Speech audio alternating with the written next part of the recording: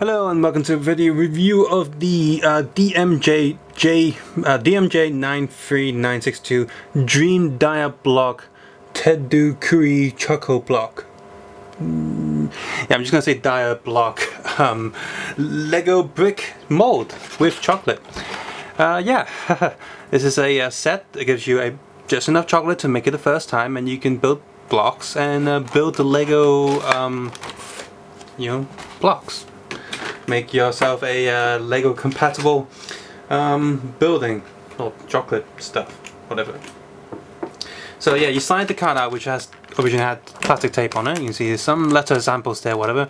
And then you can pull out the back tray and the back tray holds some, obviously the mold itself. Uh, this top piece, so sort of once you put the chocolate in and melt it, you just slide it down, hold it, and wait for it to dry and stuff. There holes there, which I guess if you really wanted to, you can inject the chocolate into it had like a, a food syringe or something. And of course a bag of chocolate, which um, it's sort of melted and uh, re-solidified a little bit. It's okay, it's just there. So it says, hey, uh, melt it, melt the chocolate, uh, put the chocolate in the bowl, melt it with boiling water through the pot.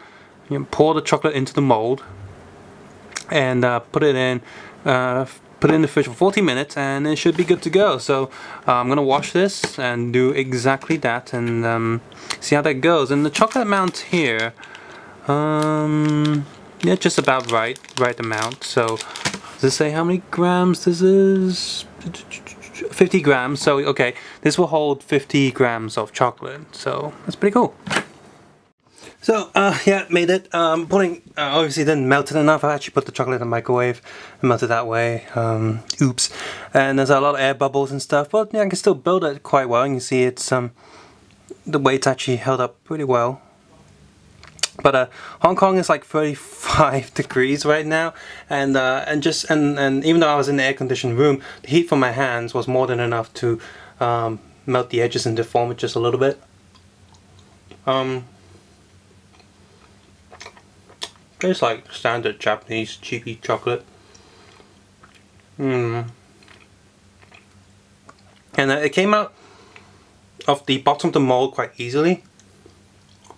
But the top transparent layer that put the holes into the chocolate was um, quite snug.